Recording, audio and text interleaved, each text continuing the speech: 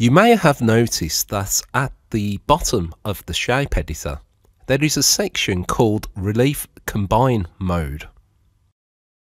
These are various options allowing you to specify how the relief you are creating interacts with any reliefs that have already been generated.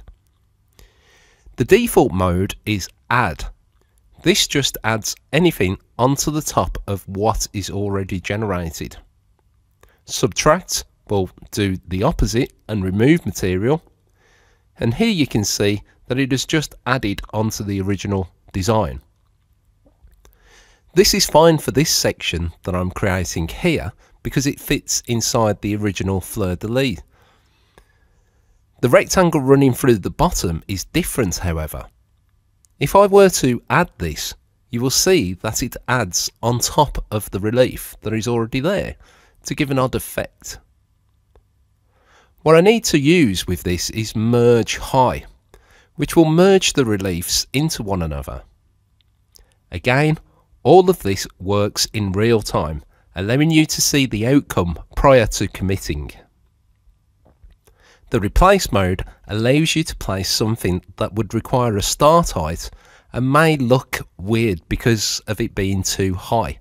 Replace cuts out whatever is inside the vector and paste the relief down regardless of the height.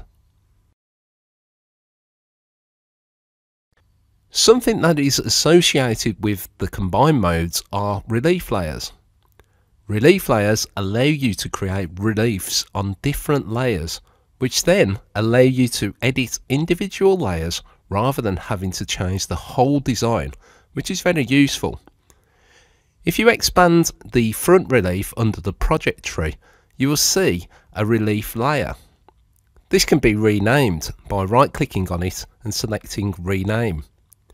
To create a new layer, you can either select the large plus symbol next to the front relief or you can right click and select new layer. This will become highlighted straight away allowing you to enter a name. Also note that the current layer that you are working on is in bold text. For this insert layer, I'm going to create a recessed area and for the rectangle running through the bottom, I'm going to use the merge high to blend this in.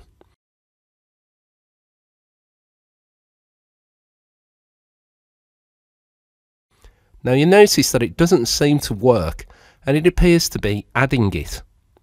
This is because the relief layer acts as a global combine mode.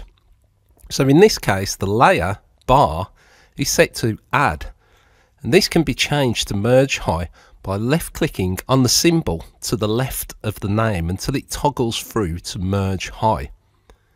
Another thing to consider is where the layers are placed in the tree. If I move the fleur-de-lis to the top of the tree, the whole design is wrong. That's because the recess has been created before the fleur-de-lis. So when the fleur-de-lis is added over the recess, it removes it. I have the same problem with the bar layer. It is merging into the recess layer and not the fleur-de-lis layer.